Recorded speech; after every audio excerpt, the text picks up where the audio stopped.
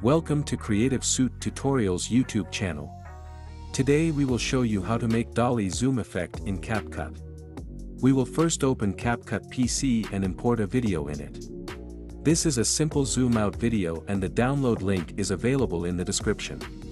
Here one thing to remember is that for creating this effect, we need a stationary subject and a moving camera either towards subject or away from subject. Let's do some trimming to this video.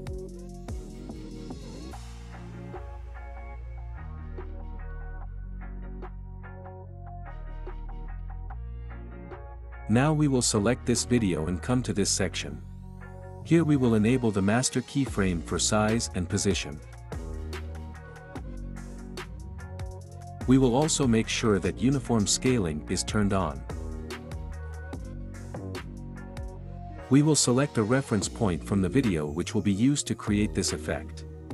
Let's select this tower in this video. Now we will come to the ending point of video and here we will adjust the scale ratio of the video. We will to it in a way that our reference point is at the same place in the start and end of the video. We can switch between the first and last frame and adjust the position.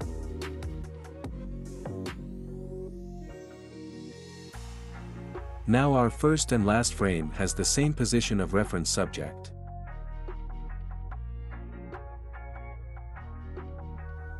Our dolly zoom out effect has been created.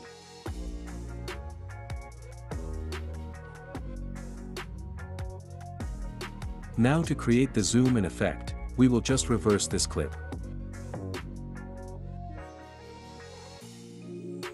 We will not do anything with the keyframes.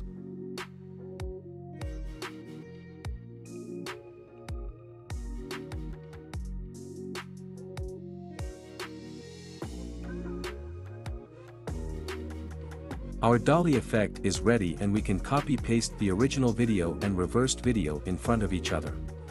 Thank you for watching. Don't forget to hit the subscribe button for more. Stay tuned for our next video, and until then, take care.